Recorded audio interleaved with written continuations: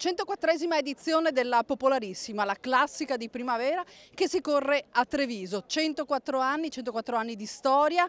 Siamo con Renato Barzi, la soddisfazione, presidente, presidente dell'Unione Ciclisti Trevigiani, di riuscire ogni anno a mettere in cantiere una competizione di carattere internazionale. Beh, è sempre più difficile ogni anno anche perché con i regolamenti che ci sono eh, è un lavoro che dura tre mesi e naturalmente devo ringraziare tutto lo staff della Trevigiani perché ci vuole, ci vuole dedizione e molto tempo. Diremo arrivati alla 104esima popolarissima è una cosa, penso che sia una delle corse più antiche d'Italia. Una, una, corsa più antica d'Italia, ma oltre a quello ha un grande orgoglio per i trevigiani e soprattutto per la provincia di Treviso tenere in piedi ancora la popolarissima. È con queste parole del presidente Ettore Renato Barzi che si è aperta la 104esima edizione della Popolarissima. Valida quest'anno anche quale terzo Gran Premio Mion e Mosole, settimo Memorial Gino Barzi. Una classica per ruote veloci, quella che si è concentrata nel cuore di Treviso con ben 12 tornate da compiere di 14 km ciascuna per un totale di circa 175 km. Alla via si sono presentati ben 100 71 atleti e tra loro il numero uno andava alle maglie della San Gemini Trevigiani che in questa occasione hanno vestito proprio la maglia storica della UC Trevigiani, dorsale numero uno per il Ligure Leonardo Bonifazio, uno dei più attesi al via. Sì, perché questa di Treviso è diventata l'occasione per mettersi in luce per tutte quelle ruote veloci che già sono state protagoniste in questo avvio di annata agonistica sui circuiti e sulle kermesse di inizio stagione. A dare il il via l'assessore allo sport del comune di Treviso Silvia Nizzetto in compagnia ovviamente del presidente della UC Trevigiani Ettore Renato Barzi. Come dicevamo tante le ruote veloci al via, oltre a Leonardo Bernifazio anche tanti corridori che hanno già vinto in questo 2019 come Gianmarco Begnoni della Viris Vigevano, Enrico Zanoncello della Zalfero Mobile Desiree Fior, Cristian Rocchetta della General Store e anche Stefano Moro della Arvedi Cycling Team, oltre ovviamente alla rivelazione di questo avvio di stagione Stefano Cerisara del Bike Team Nord-Est. Primi chilometri sul circuito cittadino di Treviso che volano via ad altissima velocità. Pensate che dopo la prima ora la media del gruppo era superiore ai 48 km all'ora. Un gruppo dunque che sfila sempre in lunga fila indiana tra le vie di Treviso per la gioia del folto pubblico che in una domenica primaverile ha scelto di venire a vedere e applaudire questi ragazzi. Ricordiamo gara internazionale con diverse formazioni al via provenienti anche dall'estero, una sfida tutta da gustare proprio perché si tratta di una gara veloce che scivola via su questo circuito che in alcuni tratti è decisamente scorrevole, mentre in altri molto più frizzante. Una gara sempre, sempre vivace, sempre viva grazie ai tanti attacchi che si registrano sin dalla prima tornata. Tanti attacchi che però proprio a causa dell'alta velocità tenuta dall'intero gruppo non trovano fortuna sino a quando si arriva verso metà gara e a prendere il largo è un terzetto. Un terzetto decisamente interessante composto da Lorenzo Visintainer della General Store, da Jonathan Milan del Cycling Team Friuli e dal numero 84 del Bike Team Nord-Est Flavio Ceolin. Un terzetto ben amalgamato che trova subito l'accordo e riesce a scavare un buon solco sul gruppo. Infatti questo terzetto nel volgere di pochi chilometri riesce a guadagnare ben 50 secondi sul gruppo. Un gruppo che sembra prendersi una pausa, si allarga su tutta la sede stradale mentre i tre battistrada spingono forte sui pedali e a spingere più di tutti è proprio quella Jonathan Milan in maglia bianco-nera del Cycling Team Friuli accreditato al via come uno degli uomini più veloci della formazione friulana che però ha scelto di andare all'attacco. Dietro le squadre iniziano ad organizzarsi, vedete anche la Work Service Videa che chiede lumi al DS Ilario Contessa, ma dopo alcuni chilometri il terzetto è costretto a dividersi. Alza bandiera bianca infatti Flavio Ceolin del Bike Team Nord-Est, per lui alcuni dolori intercostali, mentre continua continuano nella loro azione Lorenzo Visintainer e Jonathan Milan. Si passa quindi sotto lo striscione d'arrivo con il cartello di metà gara, sette giri al termine per i due battistrada, due atleti ben dotati, forti sul passo che hanno già avuto modo di mettersi in luce in questo avvio di stagione e che sono alla ricerca di un risultato di spessore. Il loro tentativo è decisamente coraggioso perché di chilometri ne mancano ancora molti al traguardo e soprattutto alle loro spalle c'è un gruppo fitto, tenso, pieno di velocisti che non vedono l'ora di dare sfogo alla propria potenza. Ma vedete che il gruppo in queste fasi lascia ancora fare ai tre battistrada nonostante qualcuno tenti di lanciarsi all'inseguimento dei fuggitivi. Si transita davanti alle bellezze che caratterizzano la città di Treviso e l'intero Interland trevigiano e con Jonathan Milan sempre a dettare il passo sulla sua ruota Lorenzo Visintainer, due ragazzi molto generosi che non danno segni di cedimento. È il gruppo invece a risvegliarsi, è il gruppo che chilometro dopo chilometro inizia a rosicchiare secondi a questi due battistrada.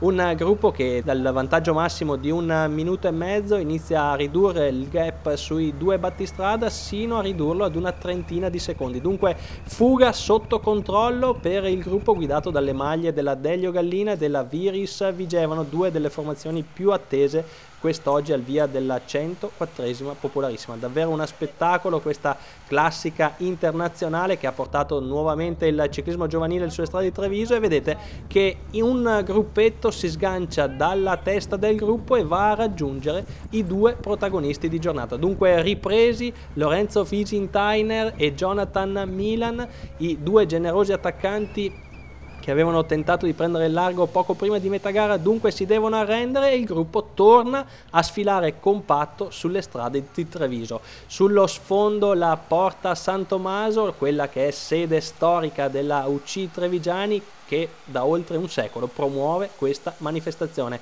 Una gara, dicevamo, sempre viva, infatti non c'è nemmeno il tempo di registrare il gruppo compatto che a prendere il largo è una nuova azione, un'azione decisamente ancora più interessante rispetto a quella che avevamo visto perché a portarla sono 22 atleti. Un gruppo decisamente folto, quello che prende il largo ed è composto da Fabio Mazzucco e Filippo Zana della San Gemini Trevigiani, Luca Colnaghi del team Colpac, Marco Murgano della Casillo Maserati, Maserati, Edoardo e Gregorio Ferri della Zalfero Mobile Desire Fior, Riccardo Bobbo della Gallina Colosio Aerofid, Samuele Zambelli della Iseo Rime Carnovali, Simon Pellode e Samuele Zoccarato della Yam Excelsior, Enrico Salvador della Northwave Cofiloc, Cristian Rocchetta e Daniel Smarzaro della General Store, Manuel Belloni del VC Mendrisio, Flavio Tasca che vedete ora al comando della Work Service Videa, Ivan Mirri della Named Rocket, Nicola Venchiarutti del Cycling Team Friuli, Felix Engelhardt e Samuele Rivi della Tirol KTM e Davide Ferrari della Beltrami Opla Petroli Firenze.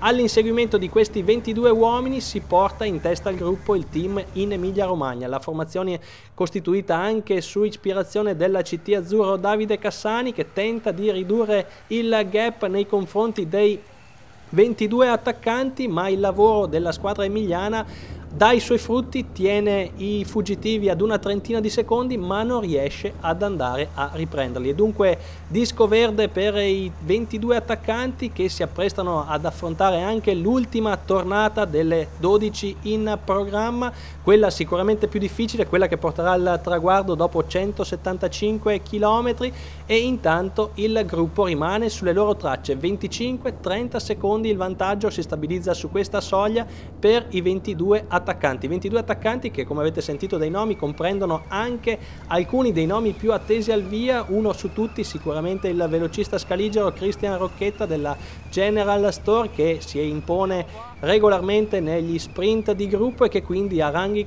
ristretti potrebbe davvero avere l'occasione di andarsi a prendere questa popolarissima numero 104 ma in testa alla corsa lo vedete siamo ormai al suono della campana non c'è un accordo. Troppi componenti di questa fuga per riuscire ad organizzare una doppia fila vera e propria. Quindi si procede a scatti con il gruppo che è sempre più vicino. Al suono della campana infatti il vantaggio dei 22 battistrada si riduce ad appena appena 17 secondi. Dunque 17 secondi a cui sono appesi i sogni di gloria di questi 22 attaccanti. Intanto il pubblico inizia a riversarsi sul rettifilo d'arrivo, manca davvero pochissimo ormai al traguardo, poco meno di 15 km e in testa alla corsa si continua a scattare. Il gruppo arriva veramente alle calcagna di questi 22 battistrada, il ricongiungimento sembra ormai imminente, ma colpo di scena. Dalla testa del gruppo si sganciano quattro atleti che riescono a rientrare sui 22 attaccanti, mentre il gruppo resta escluso dalla fuga. A rientrare sui battistrada sono Paolo Totò della San Gemini Trevigiani, Pasquale Abenante della Zalfero Mobile Desiree Fior, Mattia Cristofaletti della Viris Vigevano e infine lo svizzero Ge Kentin della Yam Excelsior. E quindi con 26 attaccanti e le maglie della UC Trevigiani in testa a tirare nel gruppetto dei battistrada, il gruppo davvero sembra faticare per provare a rientrare in su questi attaccanti, un gruppo che non riuscirà a chiudere incredibilmente il gap minimo che si era costituito al suono della campana, quei 15 secondi rimangono decisivi, anzi si allargano. Il distacco del plotone si dilata negli ultimi chilometri giungendo anche oltre i 30 secondi e dunque la vittoria è affare ristretto a questi 26 attaccanti, tra cui, lo ricordiamo, figurano alcuni dei velocisti più attesi al via. Uno su tutti Cristian Rocchetta, ma anche attenzione a Nicola Venchiarutti e soprattutto a Samuele Zambelli già sul podio della Coppa San Geo. Si va velocissimi verso il lungo rettifilo d'arrivo dove il pubblico delle grandi occasioni è pronto per accogliere questo sprint a ranghi ristretti. Il plotone ormai è tagliato fuori dunque dunque dalla lotta per il successo, volata a 26 e a prendere la testa ai 300 metri dal traguardo è il friulano in maglia bianco-nera Nicola Venchiarutti del Cycling Team Friuli. Prova a rivenire su di lui Cristian Rocchetta, ma ormai è fatta per Nicola Venchiarutti che taglia il traguardo davanti a Cristian Rocchetta, Samuele Zambelli della Iseo Rime Carnovali, quindi Paolo Totò della San Gemini Trevigiani e Gregorio Ferri della Zalfero Mobile Desire Fiore. Questi i primi classificati della 104esima popolarissima, mentre il gruppo sprinta per la 27esima posizione. Una volata purtroppo inutile per le attesissime ruote veloci di questa classica trevigiana. E dunque con il primo successo stagionale di Nicola Venchiarutti e del Cycling Team Friuli può andare in archivio la 104esima edizione della Popolarissima, non prima di aver ascoltato le interviste realizzate dopo il traguardo. Nicola Venchiarutti, una grandissima volata. Eri il leader per la volata di questa popolarissima. Sì, eh, sono abbastanza veloce. Poi la gara si è messa nei migliori dei modi per me con un gruppetto davanti e così ho potuto giocarmi le mie carte che sono abbastanza veloce. Ho preso la volata di testa, stavo molto bene e per fortuna nessuno mi ha rimontato. Quando siete andati in fuga pensavi di potercela fare, pensavate di poterci arrivare alla fine? Eh, c'erano nomi importanti dentro e quindi speravo. Poi ho visto che il gruppo dietro inseguiva ma non ce la faceva e allora ci ho creduto. Ma voglio dedicarla a tutta la squadra, al team Friuli, agli allenatori, a, tutti, a tutta la squadra, a questa fantastica squadra.